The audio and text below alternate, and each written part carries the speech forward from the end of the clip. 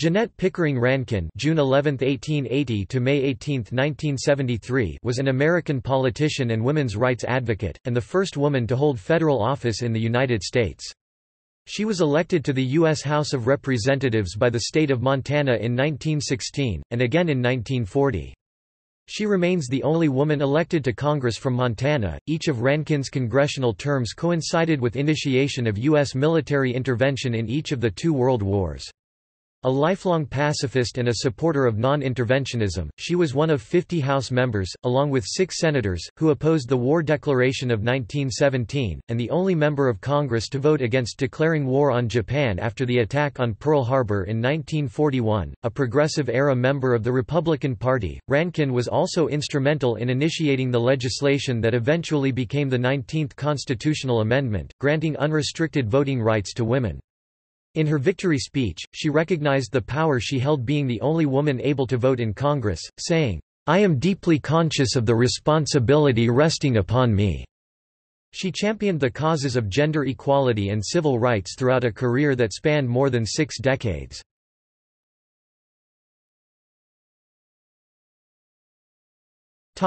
Early life Rankin was born on June 11, 1880, near Missoula, Montana, nine years before the territory became a state, to schoolteacher Olive Pickering and Scottish-Canadian immigrant John Rankin, who worked as a carpenter and rancher. She was the eldest of six children, including five girls one of whom died in childhood and one brother, Wellington, who would become the state's Attorney General, and later, an Associate Justice of the Montana Supreme Court. As an adolescent, Rankin held many responsibilities including cleaning, sewing, farm chores, outdoor work, and helping care for her younger siblings. She helped maintain the ranch machinery, and once single-handedly built a wooden sidewalk for a building owned by her father so that it could be rented.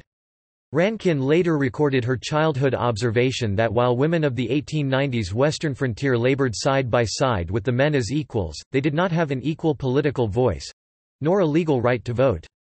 Montana, with its sawtooth mountains and vast prairies, did much to shape her, yet she had a lifelong love-hate affair with the state. Go! Go! Go! She wrote in an early journal, It makes no difference where just so you go. Go! Go, remember at the first opportunity, go. Rankin graduated from high school in 1898, and from the University of Montana in 1902 with a Bachelor of Science degree in biology. Before her political and advocacy career, she first explored a variety of careers including dressmaking, furniture design, and teaching.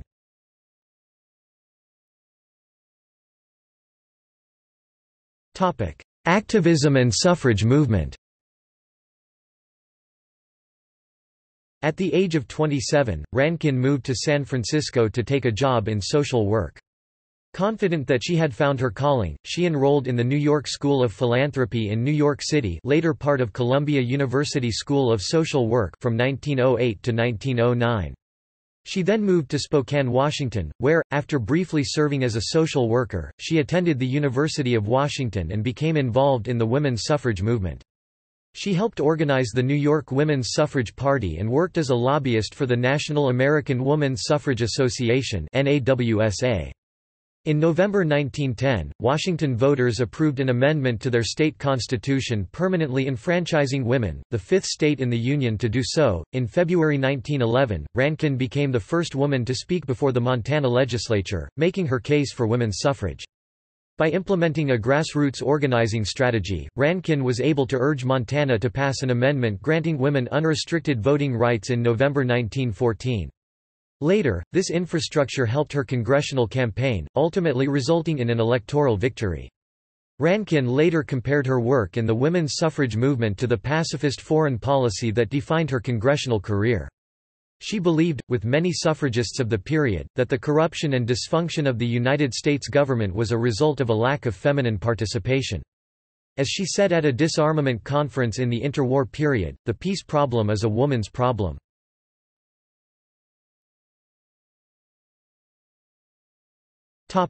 House of Representatives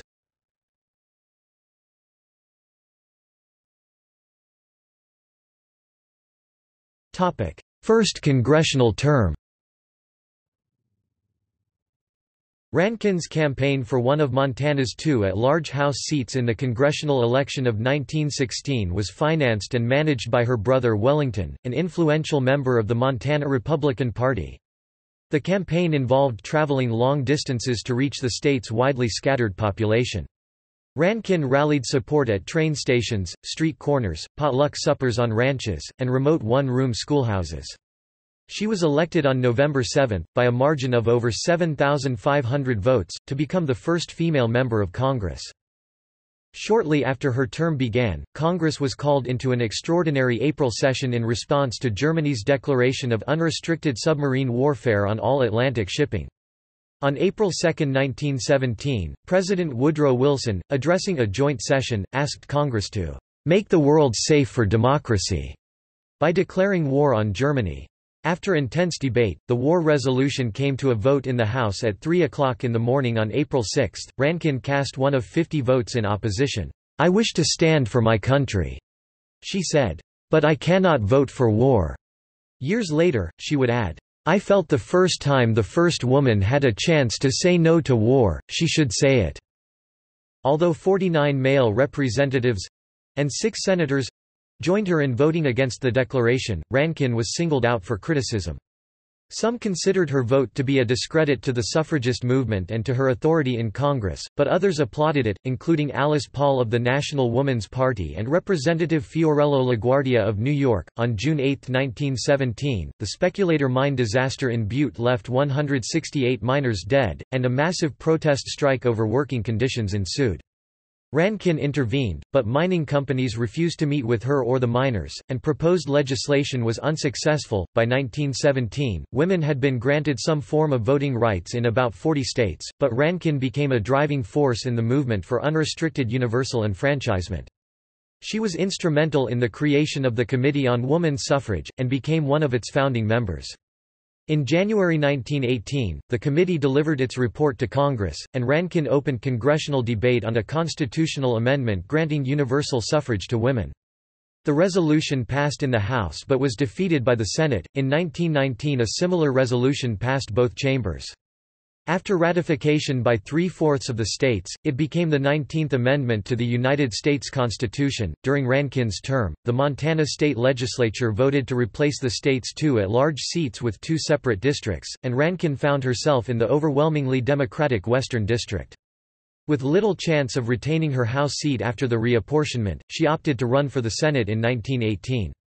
After losing the Republican primary to Oscar M. Lanstrum, she accepted the nomination of the National Party, and finished third in the general election behind incumbent Democrat Thomas J. Walsh and Lanstrum.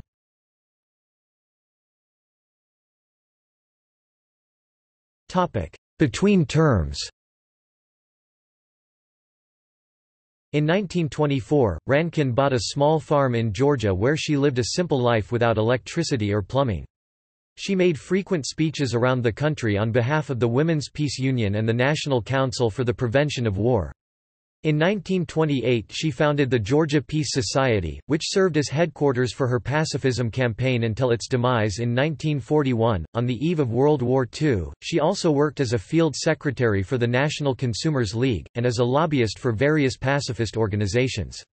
She argued for the passage of a constitutional amendment banning child labor, and supported the Sheppard-Towner Act, the first federal social welfare program created explicitly for women and children.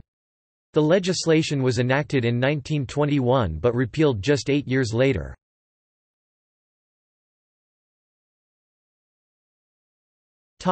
Second congressional term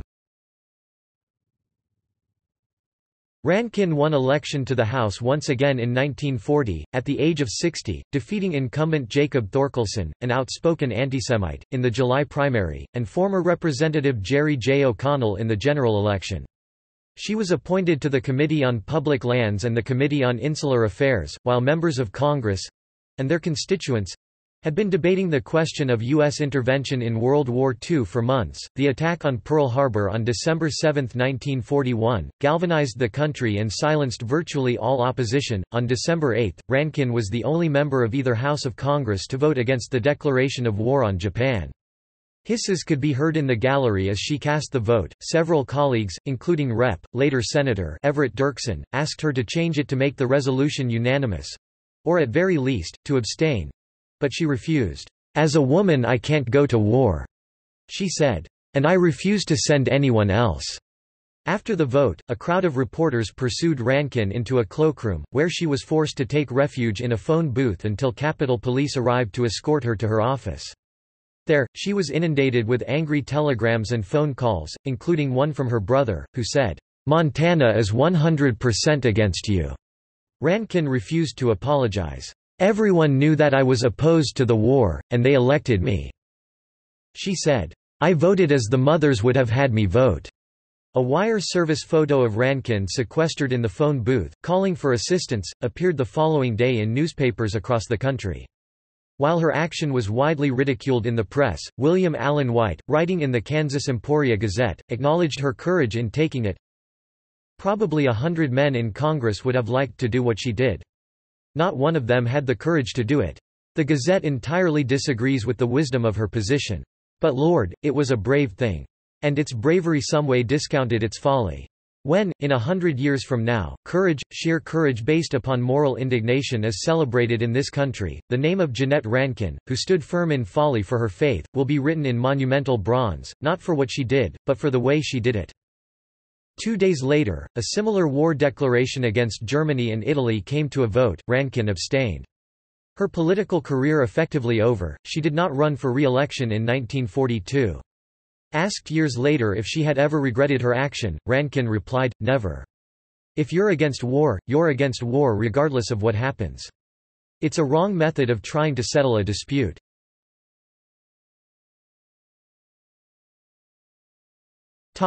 Later life Over the next 20 years Rankin traveled the world, frequently visiting India, where she studied the pacifist teachings of Mahatma Gandhi. In the 1960s and 1970s a new generation of pacifists, feminists, and civil rights advocates found inspiration in Rankin, and embraced her efforts in ways that her own generation had not. The Vietnam War mobilized her once again.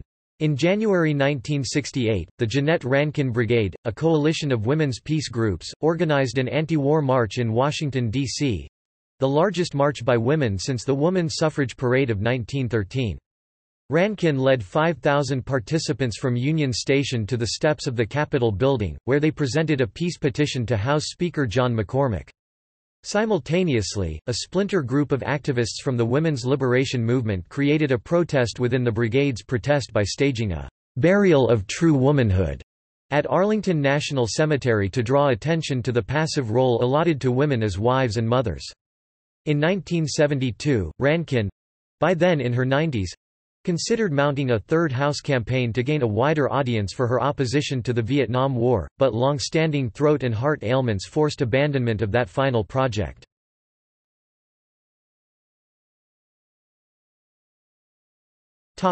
Personal life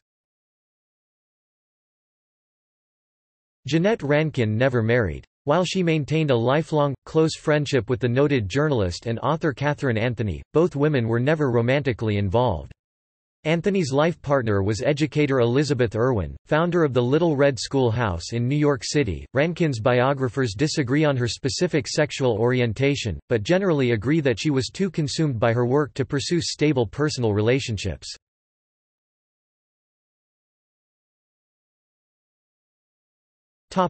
Death and legacy Rankin died on May 18, 1973, age 92, in Carmel, California. She bequeathed her estate, including the property in Watkinsville, Georgia, to help mature, unemployed women workers. The Jeannette Rankin Foundation now the Jeannette Rankin Women's Scholarship Fund, a 501 nonprofit organization, awards annual educational scholarships to low-income women 35 and older across the United States. Beginning with a single $500 scholarship in 1978, the fund has since awarded more than $1.8 million in scholarships to more than 700 women. A statue of Rankin, inscribed, I cannot vote for war, was placed in the United States Capitol's Statuary Hall in 1985. At its dedication, historian Joan Hoff Wilson called Rankin, "...one of the most controversial and unique women in Montana and American political history." A replica stands in Montana's Capitol building in Helena. In 1993, Rankin was inducted into the National Women's Hall of Fame. In 2004, peace activist Jeanmarie Simpson produced and starred in the One Woman play A Single Woman, based on the life of Rankin. Simpson baked bread during each performance and distributed it to audience members as the show concluded. She performed the play 263 times over two years in the U.S. and abroad to benefit peace organizations and movements including the Women's International League for Peace and Freedom, the American Civil Liberties Union, and the American Friends Service Committee. Simpson then wrote and starred in a film biography of Rankin, also titled A Single Woman, directed and produced by Kamala Lopez, narrated by Martin Sheen, and featuring music by Joni Mitchell. In 2017, the first Jeannette Rankin Legacy Lecture was presented. It was by Sarah Hayden, a University of Montana communications professor, and was given at the University of Georgia. Also in 2017, a song cycle about Rankin called Fierce Grace premiered. This song cycle was commissioned by Opera America from four composers Ellen Reid, Kitty Brazelton, Laura Kaminsky and Laura Karpman and librettist Kimberly Reid. In 2018, a mural with a caricature of Rankin and a quote from Rankin stating, Go, go, go. It makes no difference where, just so you go. Go, go was painted on the side of the Kalispell Brewing Company. Although her legacy rests almost entirely on her pacifism, Rankin told the Montana Constitutional Convention in 1972 that she would have preferred otherwise. If I am remembered for no other act, she said, I want to be remembered as the only woman who ever voted to give women the right to vote. Rankin remains the only woman ever elected to Congress from Montana.